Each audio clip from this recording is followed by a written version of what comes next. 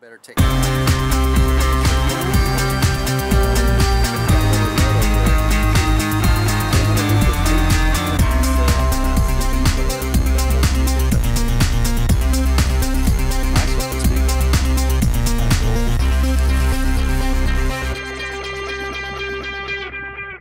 Hey, what's up, guys? This is Clay with Texas Know How.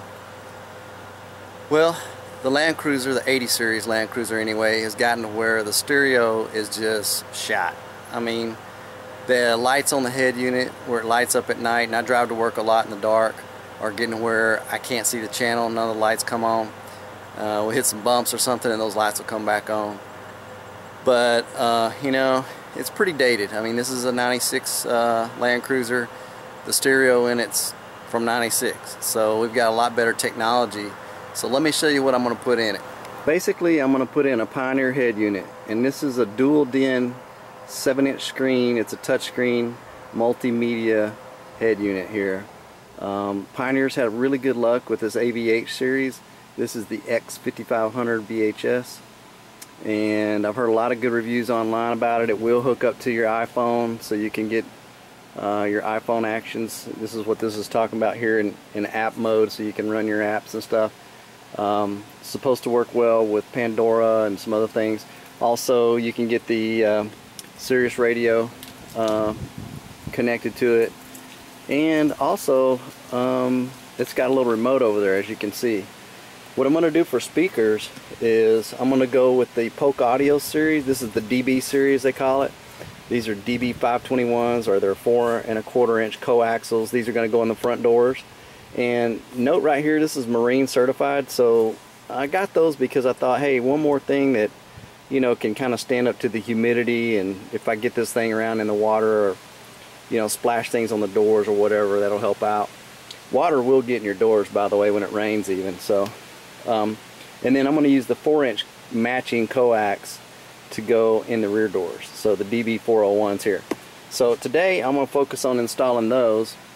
Um, there is a couple more, there's probably three or four more speakers on the Land Cruiser besides the door speakers. Um, for instance, a lot of them came with these third row speakers up here. They're kind of up high in the back, right by the third row. I don't know if those are 2 inch or if they're just tweeters or what.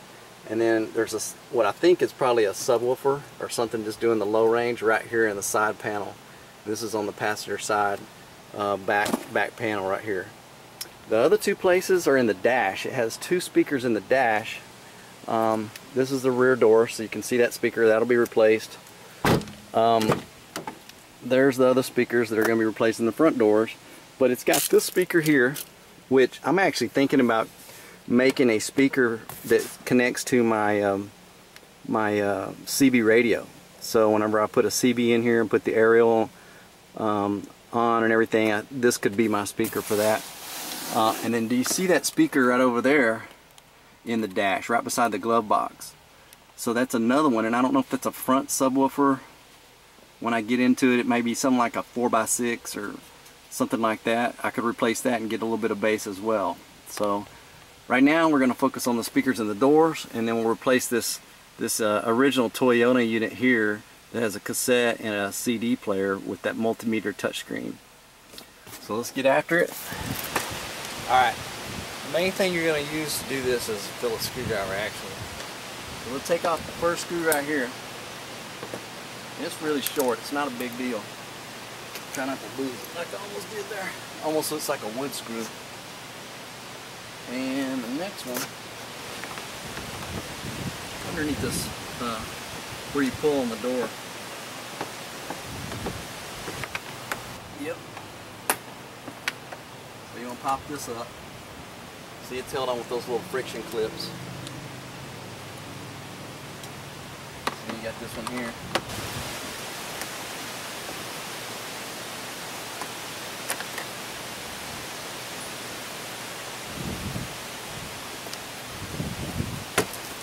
Alright, see how it starts popping? Yeah. You're just going to work your way around it.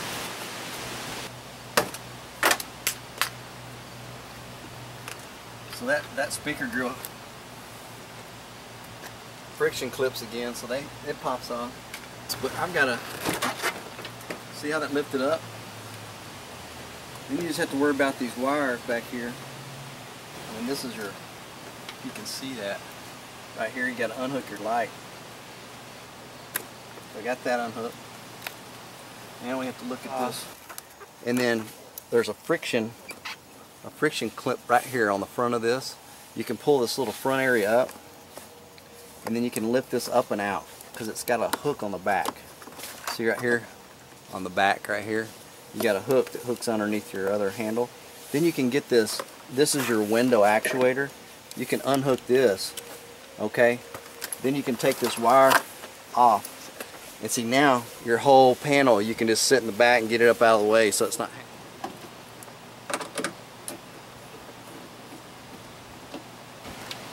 A lot of room in there if we wanted to put a bigger speaker, I know that. We just got to figure out how to these uh, so open up these these rear speakers right here. See what they come with.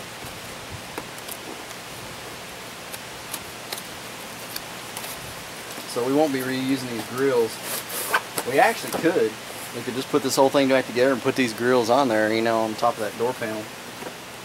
Kind of wanted it to look original though. So here's one of our speakers. We'll take it around there and see what we got.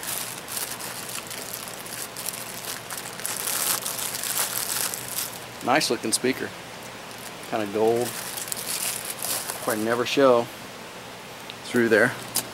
And then uh, a lot bigger speaker if you compare a lot bigger magnet. These things can handle a lot more RMS power and a whole lot better cone and tweeter there. So we're, we're upgrading here big time. Anyway, as you look at this way, blue's on the right. I'll get it over here where I can see it better. Blue's on the right. There's our basket that we're going to work on. You can kind of see that. We're basically needing to keep this mounted to here for the only reason of holding our grill. Alright, hey I just wanted to zoom in on this real quick and kind of show you. When I got this over there and I, am hoping that this kind of comes in where you can see it right by my fingernail there's a little plus and there's a little minus right over here on the other side. So this blue wire is going to be your positive wire so we know how to wire our new speaker. I just wanted to show you that. Um, I just need more room for that that bigger magnet on that speaker and we're going to keep this basket as I was saying because we need these outside clips right here to hold the grill on the factory grill I'm going to come in here with a zip bit you know this is a spiral cutting bit and I'm just going to take this off and I'm going to make my way through to this little gap that you see here fill in the gap and cut across to the other gap right um, I'm going to fire this up now. I've got safety glasses on, so you're going to protect your, your eyes at all times with this. Um, and then let's see how it cuts this plastic. See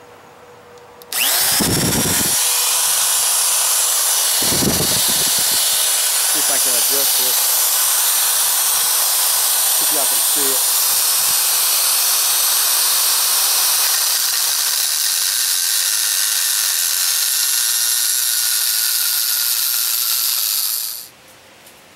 Alright, so now the back of the basket's cut out so I can put a bigger magnet in here. Um, and I've still got the edge here to hold on to my grill once I put the door panel back on. So I'm probably just going to go ahead and mount this right back down where it was with those three screws. And we'll start seeing what kind of standoffs we need for the speaker.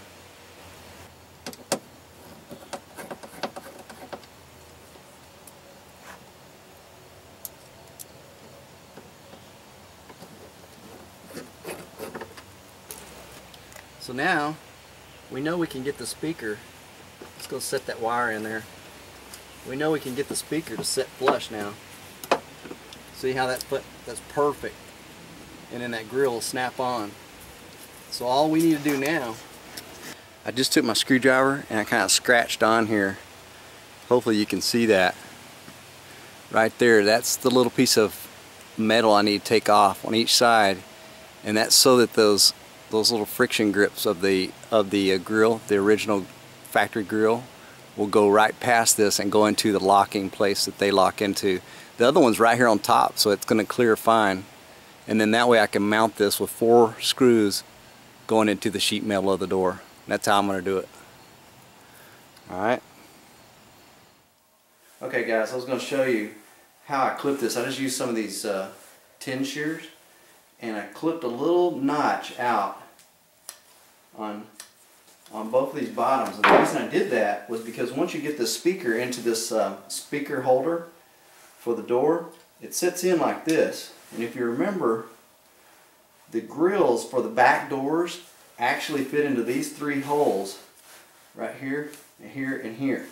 And so you have to clip a little spot to relieve so that those, that, that grill is going to snap back on here, okay? And I decided to hold that speaker in that speaker holder without a mechanical means. I'm going to hold it with this caulk right here.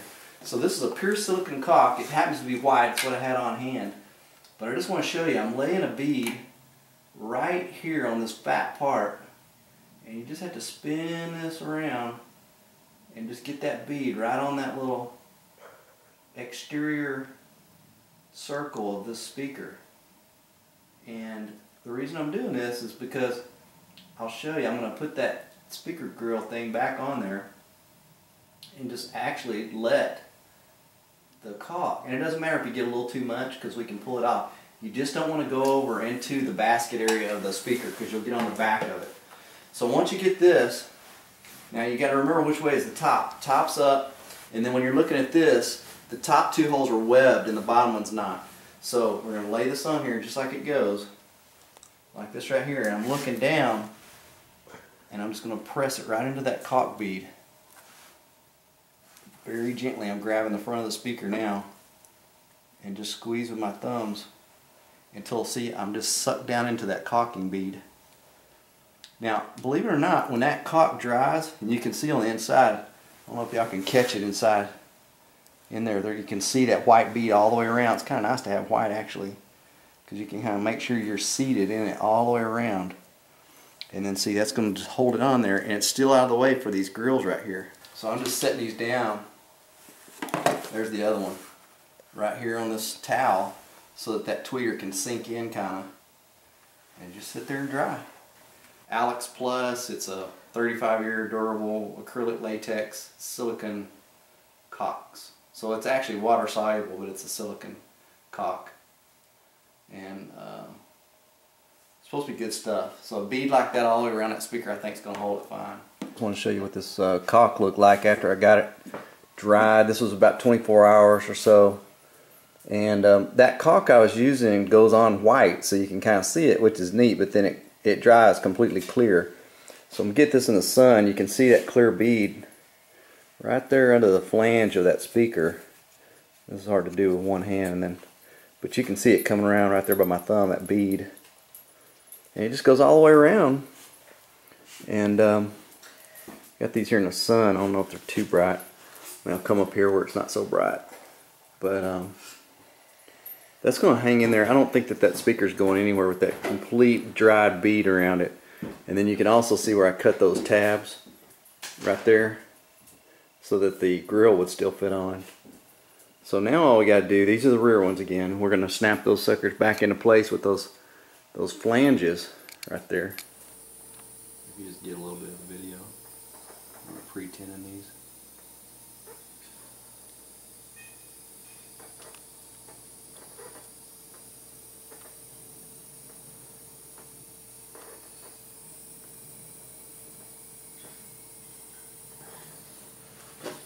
Got them all pre-tinned. Let that kind of heat up. And I'll bend them and put, them on the speaker. That little thing is working good. What I'm going to do is take these and just bend a little hook in them. Now if they're tinned, they don't fray out. We know that the blue wire, the primarily blue wire is the positive. The thing about soldering on the back of a speaker is you don't want to hold it this way because you drip down if you drip solder down in this crack, you're going to drip it on your cone or on this little thing and you poke a hole in it. So what I'm doing is I'm hooking that wire. I mean this is kind of a little bit of a picky thing to have to do, but if you just solder on those little, and then I'm just going to crimp that on that after once I get through the hole. If you solder these on, then you know any bumps or off-roading or whatever is not going to allow a clip to come loose on you in here. So now both of those are tight. So now what I need to do is I'm going to reach in here with my soldering iron since those are pre-tinned. I'll just touch right in here, add a little solder and we'll be good to go.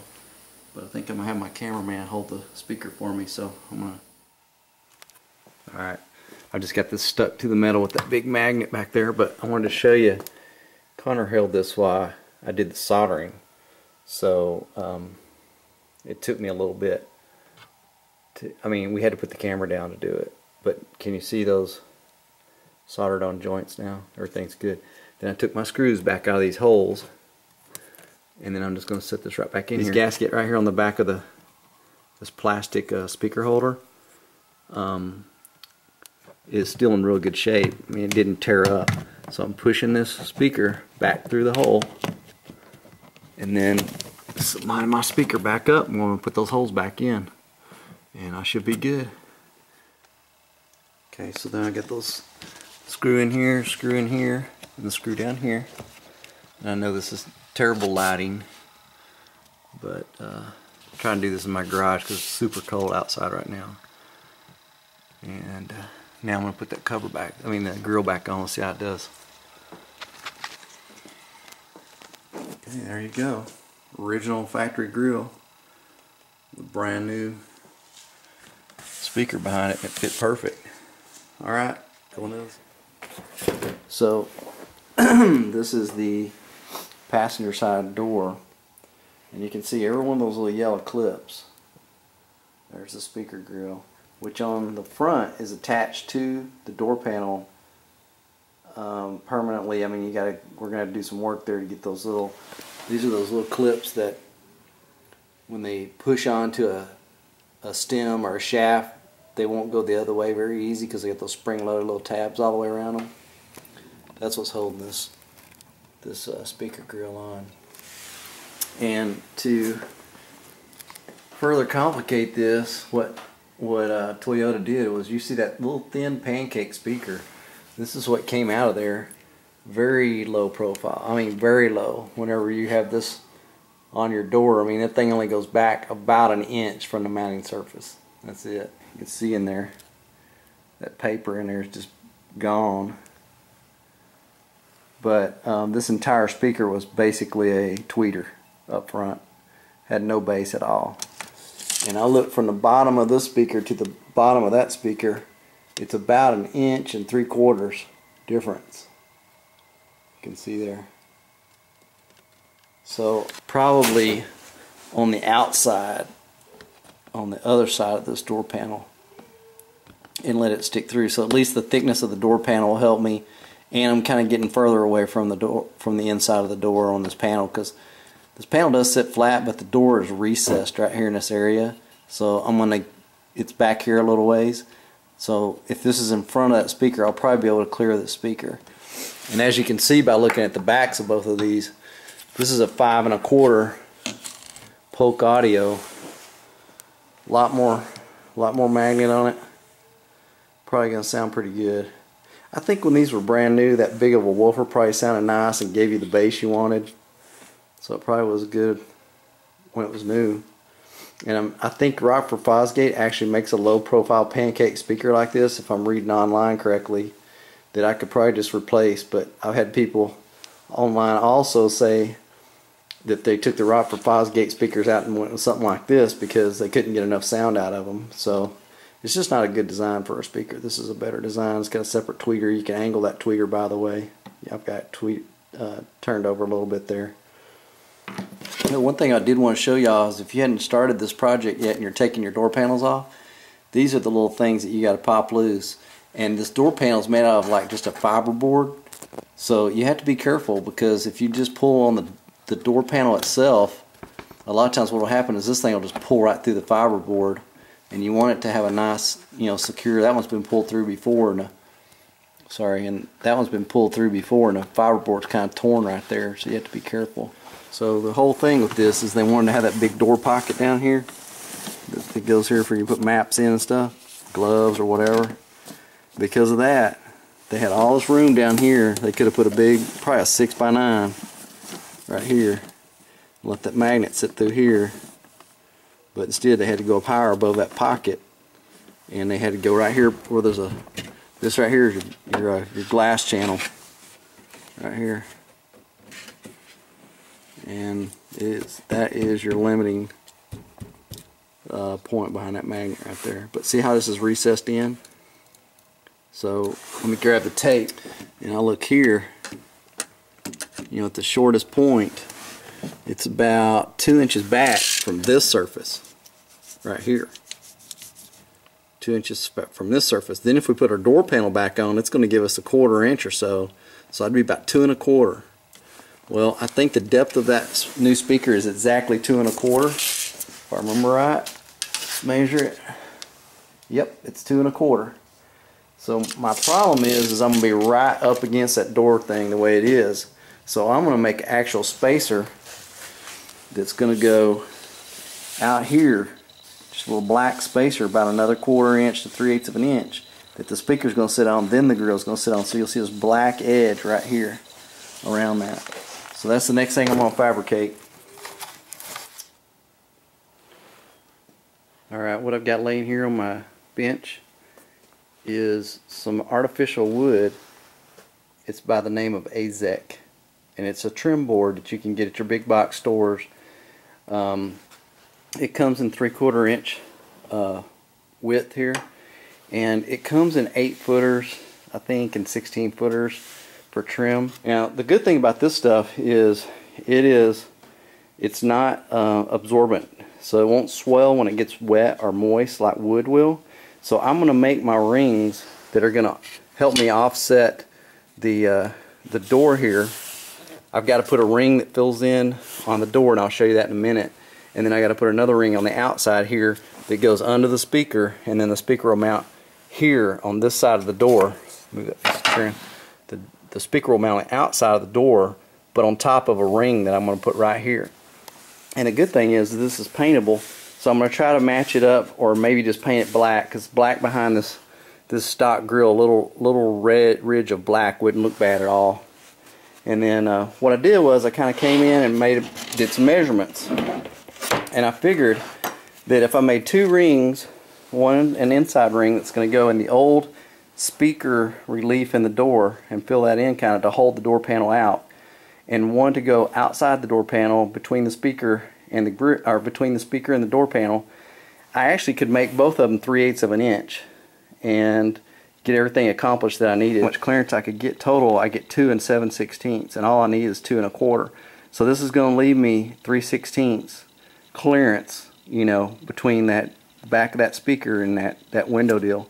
And what I thought I'd do is put a little piece of foam on that window rail just to kind of be there as a cushion in case when the door slams or something, you know, it, it might span that 3 16ths and hit, it'll have a cushion. So this is my plan. So what I've got to do first is mill this wood from th from 3 quarters of an inch down to 3 eighths. So I've got a Powermatic planer, it's a 15 inch, and I use it, you know, a couple times a year for something like this when I need to when I need to mill something down. Um, and this plastic stuff, by the way, you can cut this, whatever this material is, it's a plastic slash fiber of some kind you can cut this and mold it and shape it and router it just like wood. So you can use all your woodworking bits. You can use your uh, your um, planer. So I'm going to hook my planer up. I'm going to take the the wood down to 3 eighths now so that I can have I don't know what else I'll do with this nice water resistant board. So I'm going to cut it in half and run this side through my planer and get it down to 3 eighths and take this half and just keep it for something later, some other project where I need some waterproof uh, board.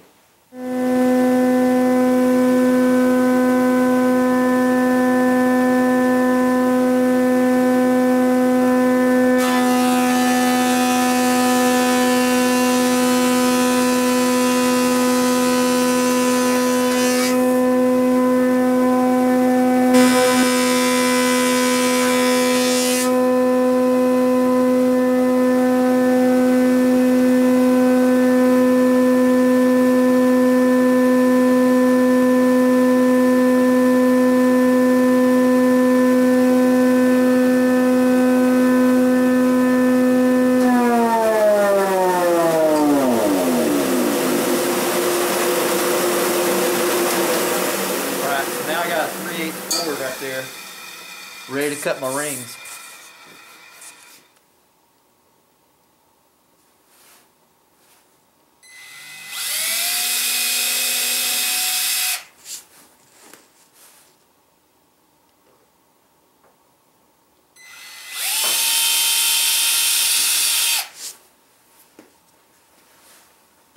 Now, you see these holes right here? You can see them right here. I went on my bench press and the distance from the outside of the bit to the nearest hole is going to cut the center uh, out of each one of these speaker rings. But the distance from the inside of the bit to each one of these holes is going to give me a six and a quarter or a six and a half inch outer diameter on the ring. Now I'm going to cut the outer di diameters first because if I cut the inner one then I can't hold the, the thing still with a center point for the set for the outer one. So I got to go outer and work my way in. So these first two circles I have laid out are for my uh, six and a quarter. So I'm going to use the same drill bit that I drill these holes and I'm going to put it through these holes as a peg.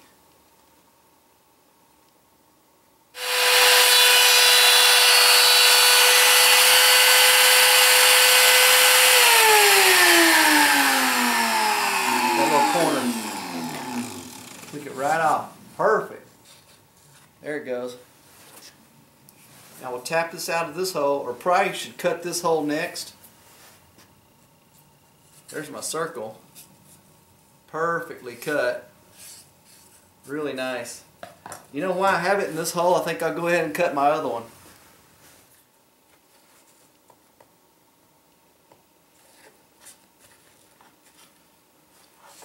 There we go. Cleaned it right up.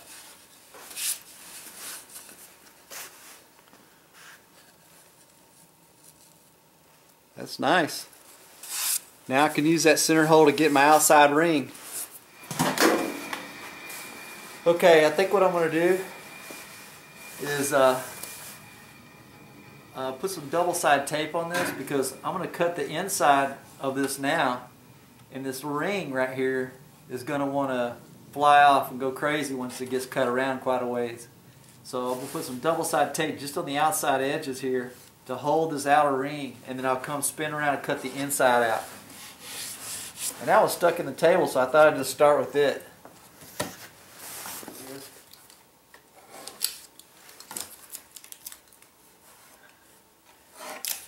Like that.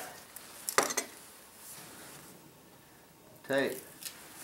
Okay, so see now I have tape right there. Sticky on both sides. Yeah, we'll slide this back on my drill bit that. Around and cut the inside diameter now. So I'm going to use my inside diameter hole and I'm going to plunge down and start going.